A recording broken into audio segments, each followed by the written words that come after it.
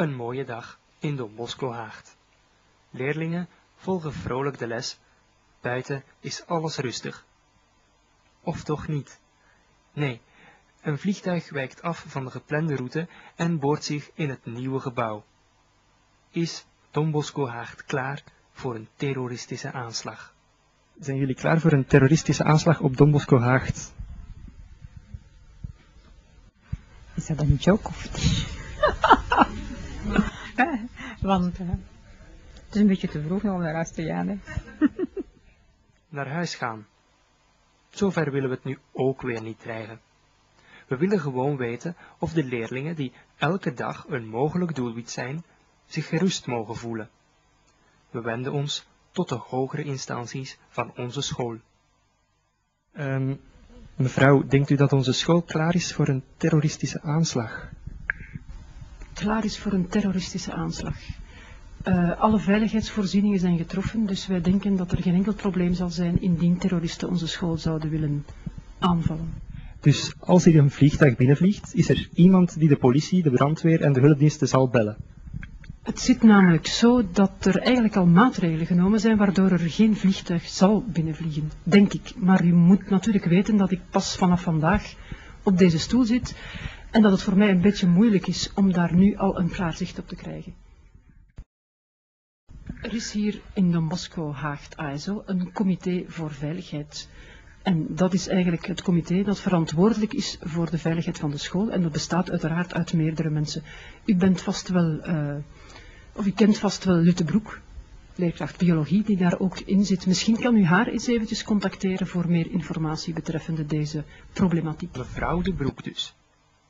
Het is een geruststellende gedachte dat een vrouw die chemie geeft en die de werking van een atoombom nauwkeurig kan beschrijven, instaat voor onze veiligheid.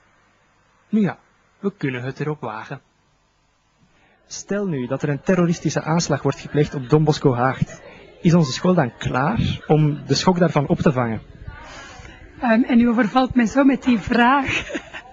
Veronderstel dat u daar in uw comité toch al wel wekenlang over vergaderd heeft. De aanslag uh, over brandveiligheid wordt er vooral veel gepraat. Dus ik denk als er zoiets zou gebeuren en de school moet ontruimd worden, dan zullen ze dat volgens hetzelfde procedé doen van de brandveiligheid. Het hangt er vanaf wat ze gaan doen. Hè.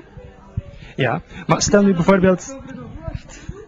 We zijn voorlopig niets van plan, maar uh, stel nu dat hier een vliegtuig binnenvliegt. Zijn er dan mensen die als taak hebben om meteen de hulpdiensten, de brandweer enzovoort te verwittigen. Het secretariaat moet normaal gezien de hulpdiensten verwittigen.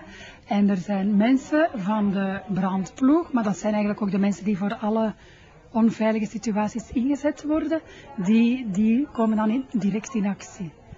Dus eigenlijk moeten we ons nu wenden tot het secretariaat die ons dan meteen kunnen vertellen wie er voor wat verantwoordelijk is. En, uh... Normaal gezien is daar iemand verantwoordelijk die zou moeten uh, bellen naar de hulpdiensten.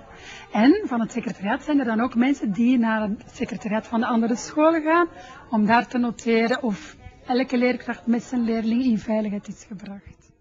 Het secretariaat is dus het noodcentrum. Daarom zitten zij dus verscholen in die betonnen bunker, daar in dat afgelegen hoekje van onze school. En Herman dan? Is die klaar voor een aanslag? Voor een terroristische aanslag? Uh, niet zo direct denk ik. Ik denk niet dat we dat verwachten. Maar we kunnen altijd naar buiten gaan lopen, hè. dat is geen probleem. Bestaat er een, volgens u een draaiboek? Ja, alleszins. Voor een rampenplan bestaat er wel.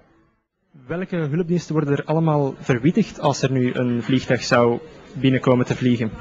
Onmiddellijk wordt, uh, wordt dus de, de 100 verwittigd. Hè? Bij een brand, brand of ramp of wordt de 100 verwittigd. Dus die sturen de mensen die nodig zijn. Hè? Ik heb ook een bepaalde functie in dag bijvoorbeeld. Ik moet de brandweer ontvangen aan de straat. Er zijn een aantal mensen. Er is een rampscenario. Dat is vooral voor brand, maar dat kan uiteraard zelden gebruikt worden voor een terroristische aanslag. Hè. Normaal zijn wij degene die voor de evacuatie moeten zorgen. Wij vluchten naar een andere school en daar moeten wij nagaan of iedereen het gebouw verlaten heeft. Dus alle leerkrachten komen dan naar ons om te melden of zij met de klas de school verlaten hebben. Ja, stel nu, er is een vliegtuig neergestort op eh, het nieuwe gebouw en er zijn 50 leerlingen schietelijk overleden. Jullie kunnen dat dus allemaal constateren. Wij zouden dat moeten kunnen constateren, ja. We mogen dus van één ding gerust zijn. Als er een aanslag gebeurt op onze school, kan men je binnen het kwartier vertellen of je officieel nog leeft.